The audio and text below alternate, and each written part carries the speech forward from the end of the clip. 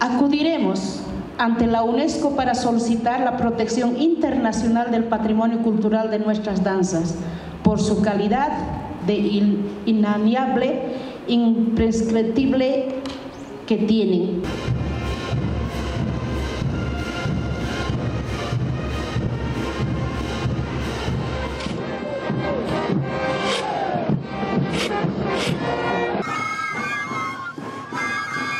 hay una serie de expresiones que, son, que no conocen fronteras. Creo que hay, eh, nosotros no pretendemos arrogarnos el origen o la exclusividad de este baile que tiene sus, sus características muy propias acá en Puno, eh, seguramente distintas de aquellas que se, que se producen en, Bolivia.